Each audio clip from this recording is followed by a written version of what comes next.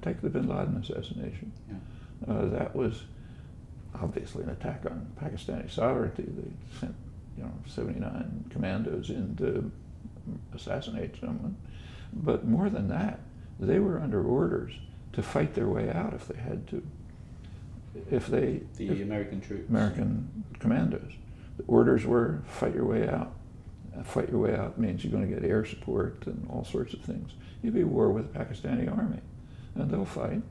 And then comes possible cycle, uh, maybe nuclear weapons going into the hands of jihadis.